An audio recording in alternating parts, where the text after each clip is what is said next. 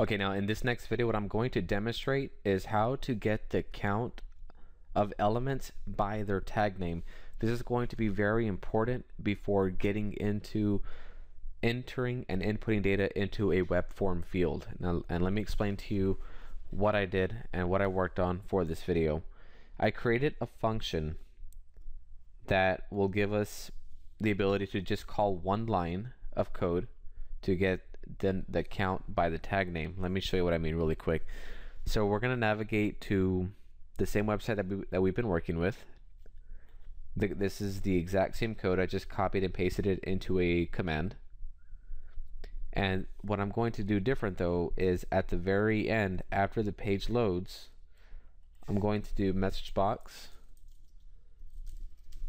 and I'm going to place, I'm going to call that function get count by tag name and I'm going to pass over the object object IE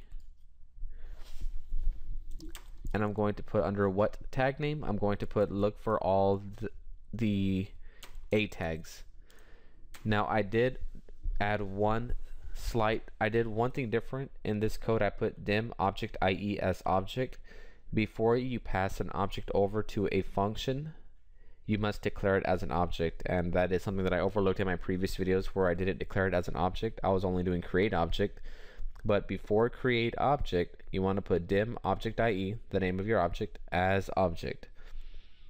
And so now we're going to do message box get count by tag name the object and then we're looking for all the a tags. So if I hit F5 or play and just this is the command button where I have the code get count.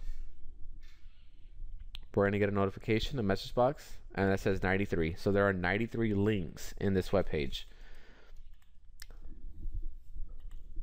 Now let's just say I wanted to get all of the form tag names. So in this case, let me just do a view source so I can show you what I mean. And if I look at the source, let's say I look at the forms let's just say I want to get a count of all the forms that are in there because in, in the next video what I'm going to be looking at is the form for entering in a item number or a name for search. So I'm gonna have to look through these forms and in order to do that I'm going to need the count just to make things a little bit easier. So let me see if I get a count of the forms. So I can show you what this does. I can just have that A, change it to form, and hit F5. Again, do the get count. And we'll get that there's a total of six forms on this page.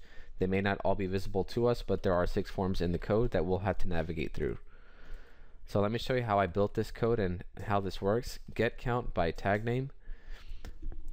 Here is the code this code can be a public function where let's say I put it in, into my program module.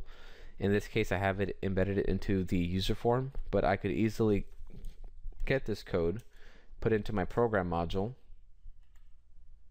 I can put it at the very, very top. And I will still be able to access this code from here. And I'm just going to give you that quick demonstration, hit get count. And we see it still does the same exact thing. So now, let me explain to you what this code does. First off, to build a function, I have showed that in a previous video, but if this is the only video that you're watching right now, you just do type in function, let's say your function name, and then just do open parentheses, close parentheses, and hit enter, and you'll automatically get an end function. The parameters that we're going to ask for though are object IE as object and what tag name as string. These values can be whatever you want, but if you were to change this, then you will have to change it inside